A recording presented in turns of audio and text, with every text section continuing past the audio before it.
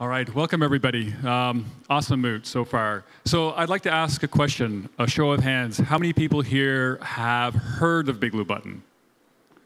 Okay, and keep your hands in the air. How many people use Big Blue Button? Awesome. All right. So, uh, brief introduction. Hi, I'm Fred. So, I'm the co founder of Big Blue Button Inc. I've been managing the Big Blue Button project since 2007, which is like 14 years or so. Uh, I also moonlight as the CEO of Blindside Networks. We're one of the sponsors, and we're out there in the hall. And for those of you that ever used Big Blue Button, I'm all within inside of Moodle. Uh, there's three people, uh, Jesus, Jesus Verdugo, uh, Shamiso Jaravaza, and Laurent David, who are here at the conference, and they are the ones who have built the plugin for you. So if you see them in the hallway, just shake their hands, give them thanks. All right, so there are two company or two brands here associated. So Blindside Networks, we started the project in 2007. Uh, in the last two years has been insane. Uh, we've hosted over 25 million minutes of virtual classes for over a million educators. And Big Blue Button, of course, it's an open source virtual classroom built by educators for educators. And I'll expand on that. And the hint is we're not a video conferencing system. All right, open source is super important to our project. So I'd actually riffed off of what Martin put in terms of the importance of open source. So uh, we've open sourced Big Blue Button. It's amazing to see all the servers around the world that have been, all the people around the world using Big Blue Button. And I'll give you three examples. We listen to educators. We say that we're built by educators for educators, and I'll expand on that. And we also engage the developer community. So we have a community of over 150 developers worldwide, lots of people on our mailing list, and I only speak one language. We're localized into over 55 of them. And in terms of sustainable revenue model, uh, Blindside Networks has been at this for 14 years, and we have grown. Uh, I think we work with 29 of the Moodle partners here. So if you're looking for Big Blue Button and you work with a Moodle partner, ask them. They can probably help you out. Three examples. The first one is Baden-Württemberg. Uh, who is here from Germany? Okay, awesome. So Baden-Württemberg, actually, uh, the state of Germany went live with Big Blue Button. They have 3,000 Moodle sites, and at their peak, using Big Blue Button, they were able to support 185,000 teachers and students. Each one of those we cared about. Each one of those we built Big Blue Button for. It was so great to see it. The second example, uh, the country of France, the French Ministry of Education has deployed Big Blue Button as its state webinar system, and it is moving it through the school system. So again, just huge numbers, but that's the entire country. It's important to them not only that it was open source, but it was data, uh, student privacy and digital sovereignty, which is what you can get with open source as well. And the third, uh, this was working with Moodle US. We deployed Big Blue Button uh, on site at GovCloud One for the US Air Force. Very large deployment, again, running with inside their network uh, with Moodle Workplace. Okay, so let me give you a story in three parts, the past, present, and future. And the past was sort of when Thanos snapped his fingers and we kind of lost three years. But it opened up the world for open source, for virtual classes. So 2000, this was what Blindside Networks went through. This is our own in hosting. So we were, we were down here, and then we got all the way up there. So in the space of about three or four months, we increased our hosting to 60 times in size. However, not all was great. And for all the students that went online, for all the educators that went online, I think we could all agree that it wasn't the best experience. And I say that because of a few things. One is a lot of us had little training. Um, a lot of schools used video conferencing system, not virtual classrooms and a lot of them cobbled together third-party tools, and they kind of struggled to access um, to assess students' progress. So th this quote from the UNICEF, 463 million children worldwide were unable to access remote learning during COVID. That is just not acceptable, right? This is one of the sustainability development goals that we have to reach. Is every student should have access to a high quality online learning experience. So why was the struggle? Well, this is kind of simplified, but it kind of captures the sense. Video is a component of us an effective virtual class, but it's not the entire virtual class. So yes, we do video, but why did instructors struggle if they just had video, just video and screen sharing? So it's complex, but it actually boils down to there's three sort of overlapping needs. What are the needs of the educator and the student? What is learning theory, because this is an online course? And what does technology tell us? So we spent a lot of time working on this. So we basically took each of these three things and we broke it down into individual constituents. Um, pedagogy has been around for 100 years, so why would you not take that into account when you're building a virtual classroom? Um, a couple of things here, like in terms of how our brain works, social constructivism, which of course is what Moodle's built on, and then we learn in stages, which I'll talk about in a moment. And then the technology, what you can do, you should be able to do in an online class, and then the needs of the educator and the student. So just, you've all seen this, it's Bloom's taxonomy. This is how our brain works. Like we go from remembering something all the way to creating it. We just, that's the way our brain works. So the virtual classroom should have an appreciation and understanding of this. If you look at this, there's actually kind of three groups of how Bloom's works. And if you stare at it long enough, you can see, well, the first ones are memorization, long-term to short-term. The next stage is kind of like applied learning. This is where the brain is rewiring and understanding something through application. And then with application and creativity, you can master it. So the real learning is kind of occurring at those higher stages. Okay? So the use cases for an educator and a student should be front and center when designing a virtual classroom. So in terms of like the millions of minutes we delivered, recently we've done probably over 20 focus groups, interacted with hundreds of, hundreds of educators and students, and we broke down this complexity of delivering an effective virtual class into sort of four foundations. I'm going to walk them through because this is where we're going to get to the future. So as an instructor, you want to be able to set up and manage your classroom for success. Uh, you want to be able to establish relationships, which is presence and trust with and between your students, so students feel comfortable to apply themselves. For engagement, you want to effectively engage your students so you can activate their minds for learning. That's the higher levels of Bloom's taxonomy. This is in contrast to just sitting and watching a live presentation where you don't interact, you do nothing and assessment. So the teacher, the educator, really wants to know how students are doing in their class, assess their performance, and give timely feedback. And the student, well, the student wants to be able to feel comfortable to participate, effectively master new skills, and receive timely help when struggling. So that's it. If you can do those seven use cases, we argue that you can deliver an effective class. And by following those use cases, it guides us in terms of development of Big Blue Button. So we can provide the tool for delivering effective virtual classrooms. So what does this framework tell us about the role of the virtual class? Well, if you stare at it long enough, you'll see that the first two really support the third and the fourth.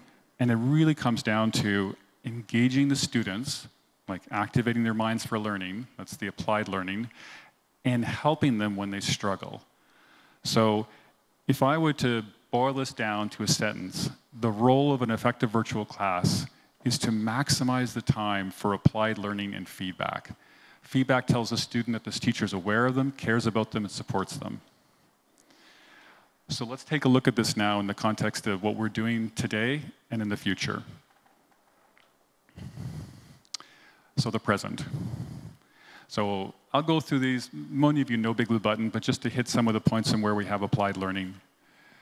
So multi-user whiteboard, really happy with this one. The newest capability is you as the instructor can turn on multi-user whiteboard and the students can't see each other's pointers. This opens up capabilities where you could say, okay, point out to me where Spain is. Most people got it right. Um, Shared notes is a great example, both in the main session and breakout rooms. Polling is built in. You don't have to use a third-party tool. In fact, it's fairly intelligent that when you bring up a slide that has like a couple choices, it actually says, hey, I think you've got a poll question. Would you like to have one button to do a poll?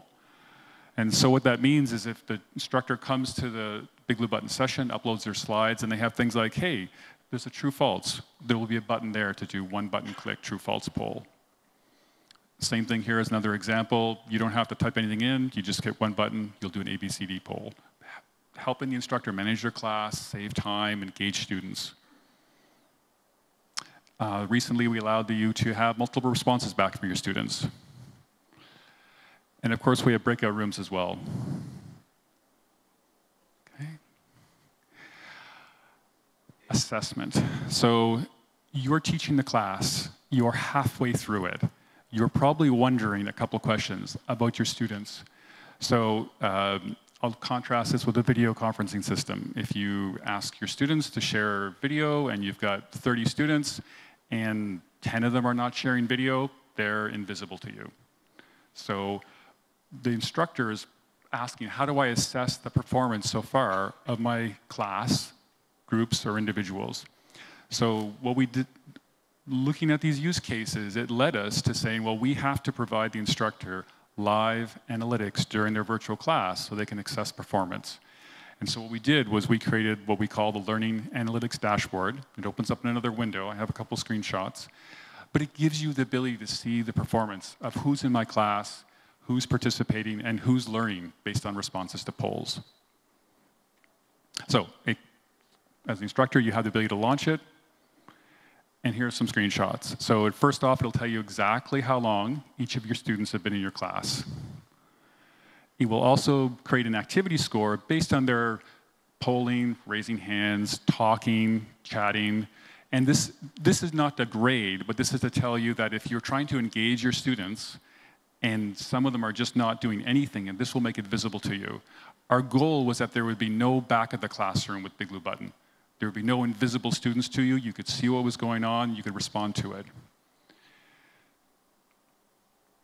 in terms of the polling, you don't have to remember the polls. If you're halfway through the class and you've done a couple polls, the polls provide like formative assessment. You can see the results of all of them, and you can pick out is there a particular student or group of students that are not responding or you know, getting the questions wrong. Recently, we added, the version we just released had a timeline view. So this means that if you're an instructor, you're halfway through your session, some students have raised their hands, you don't have to remember which slides they raised their hands on if you're trying to review the material. You could go to timeline view and you can see it. For every student, we've had this activity score. We now show you how it breaks down. It's a relative score. So if the average class, if the average uh, the people in the class had uh, responded to like three polls, you would get a lower score if you hadn't uh, responded. Same thing with talking and chatting and so on. So it shows you that if somebody is inactive, you can at least know that to take, a, uh, to take advantage of it or to respond to it. And we give you as the instructor the ability to download the data as well. All right, some cool things as well that we're working on. So how many here have heard of TL Draw?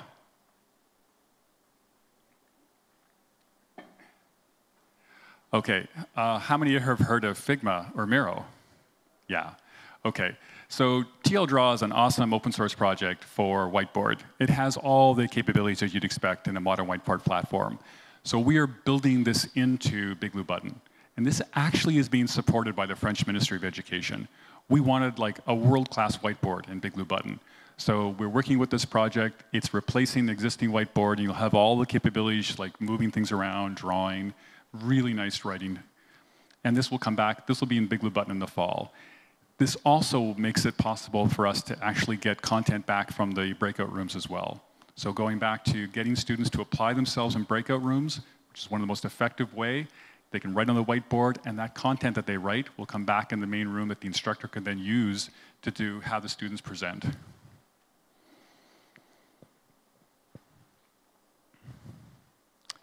Today, Big Blue Button is built into Moodle. Uh, we worked on the integration for 10 years, and our goal was to make Big Blue Button look like part of Moodle. That if you didn't have Big Blue Button in Moodle, something was missing. So now it feels really good because today we can say Big Blue Button looks like part of Moodle because it is part of Moodle. It is now in the core. And there was a lot of effort by the developers I mentioned earlier on to get there, but we wanted to have like a deep integration with Moodle. And that deep integration opens up more ways that we can improve the virtual classroom experience. Um, one of the ways you can do today is we have activity completion. So those analytics that I showed you for the live analytics dashboard, a portion of those go back into Moodle when the session's done. And if in Moodle you have set up activity completion, like mark this activity is completed when students have been present for more than 90 minutes, Moodle now knows about this. And he can mark, it activi mark an activity as completed for you.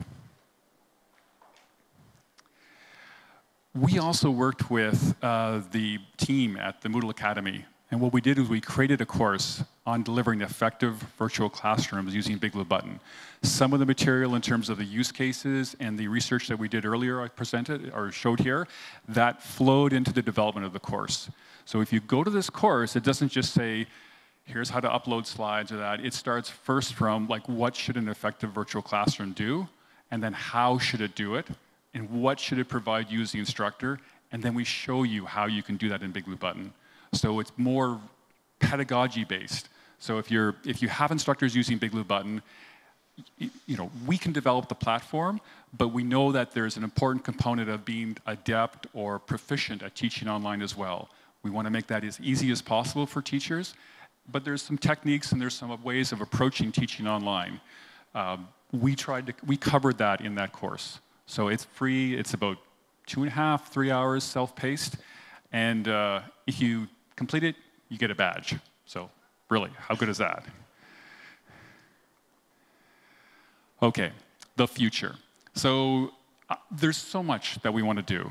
And we get feedback from so many educators, so many commercial companies, so many Moodle, um, Moodle sites all around the world. So I didn't want to go through 20 things, but I wanted to go through a few things that we're really thinking about for making virtual classes more effective for educators let's go back to this. All that research that we did, the seven use cases, how the brain works, what's possible in a virtual classroom, you, you can boil it down to you know, maximize the time for applied learning and feedback. And to get that feedback, you need to be able to assess. And you want to be able to do it live during the class, right? That visibility that there's no back of the classroom. You have visibility to how students are doing. So there's a context here. It starts with Moodle. You go into the virtual class and you return back to Moodle. Moodle knows about your students. Moodle knows where students are struggling, right? There's been lots of work done and research done in terms of like trying to identify at-risk students. And uh, we looked at a lot of this, and some of it is like machine learning, and we'll you know, do lots of analysis, but sometimes it's really basic. Like if a student hasn't submitted the last two assignments, there's a high correlation that they're not going to pass. So that information's in Moodle, but why should it stay in Moodle when you go into your virtual class? Shouldn't any information related to students who are at risk be visible to you inside your virtual class? So this example here would be, like, wouldn't it be great if you went in and you had 30 students and two of them had kind of like a little warning and then you looked at it and you said, hey, Moodle's telling you that it doesn't have these last two assignments. During your class, you may take some extra time to help those two students out. This, if this was today and I said to you, hey, we're going to remove this feature, you'd be like, why? Like, this is important for virtual class, but it doesn't exist today because, again, most people have been using like a video conferencing system that has no idea what's going on with the virtual classroom. Breakout rooms. Okay, so breakout rooms are like by far one of the most effective ways to get people to, to apply themselves in active learning. And this goes right back to social constructivism as well. We learn by helping other people. So in a class, it doesn't have to be the entirely the teacher. The teacher getting students to go into breakout rooms, students are helping each other out. Of course, the student is trying to help someone in the breakout room, has to think about how do I communicate this you know, clearly the student who's in the breakout room receiving the help is getting benefit, and students watching this are getting modeling behavior of teaching and learning. But the instructor, these shouldn't be dark to the instructor. The instructor should see what's going on in the breakout rooms. So what we want to do through something we call breakout vision is give them visibility in terms of what's going on. And if you see a breakout room that is low activity, go into that breakout room, help them out, help those, teachers, help those students out. So we want to give you visibility into what's going on so that you can take time and, and give feedback and help out students. This next one, I cannot wait to do this one. Whiteboard vision. So I'll give you the scenario. You're halfway through the class and you want your students to work on something for 10 minutes. Again, applied learning. When you do that, let's say it's a, uh, a math problem, and you've got like three quick questions you want them to do. And in them doing that, they're going to be using the whiteboard, right? So all that work that we're doing to put in like a world-class whiteboard comes to fruition here. So imagine that you could see the whiteboard activity of 12 students. Big Blue Button knows which one's moving the most around. Uh, there's three questions for students to answer. Big Blue Button knows if the answer is correct or not. And it starts sorting it for you so that the students that appear to be struggling appear in the upper left. You click on them, and on the right-hand side, you go into a one-on-one session with the student where they see you, you see each other, they, you hear each other, and you're doing a shared whiteboard. And now you can help that student out in their time when they're struggling. It tells the student that the teacher is aware of me, cares about me, and helps me out. You do that for a couple students, and you come back. That is far more effective because you're there to help them out, and the students perceive far more value from the virtual class than just passively watching it. So whiteboard vision. And actually, I'll go back to that. The idea is that after that is done, the content would come back into Moodle. So either the, the assessment of it or the, uh, the scoring of it, like we want to get that data back into Moodle. Looking ahead, there's a couple other things we want to do. So you might have picked it up. Martin, Martin mentioned Matrix yesterday. So it's a, it's a decentralized collaborative environment. Moodle will get, Matrix will get into Moodle at some point. And what that means is that we want to be able to support Moodle or Matrix as well. That if you have a discussion in your class and you move into the virtual classroom, that discussion could move with you. It's just a Matrix channel. So you have this concept of a continuous learning environment where the, the asynchronous and the synchronous now start to become more closer, more merged. And again, students can pick up what they maybe discussed in, their, in the class they can discuss it inside the virtual classroom. And then, of course, that discussion is back in the main classroom. We want to look at creating a plugin architecture, and this is just going to allow us to accelerate, build on top of our open source community where other people can contribute to Big Blue Button. Right now, if you want improvements, they go into the core, but if we can create a plugin architecture, other people around the world could use us even more as a platform to build a better virtual classroom. And I I've talked about it a couple times, but I'm really looking for ways that we can get more data back into Moodle, and then through Moodle, we can generate unified reports. I want you to be able to, as an instructor or an educator, go into Moodle and see a report that says, here's performance of my students inside of Moodle, and here's performance inside of the virtual class, and have them come together. One report, one unified report. Of course, giving the instructor visibility and performance, and maybe finding those students that are outliers that need some help. Okay, to summarize, video conferencing uh, is not a virtual classroom. It is not purpose fit, as we believe. In going through the analysis of what we look at the foundations, how the brain works, how the technology should help the teacher, we believe that you can, you, teachers could and should have a better tool for doing virtual classes. We achieve that by focusing on the needs of the teacher and student. It's not a business collaboration it's a virtual classroom. And by doing that, we can achieve a deep understanding of what the teachers and students are trying to do in the virtual class, and then use that to guide our development. And in terms of our development, we're open source. We are working with a worldwide community of educators, teachers, commercial companies, sovereign nations, and we're all focused towards one goal. We want to deliver the best virtual classroom, and I'll use Moodle here, to empower teachers to improve our world. Thank you.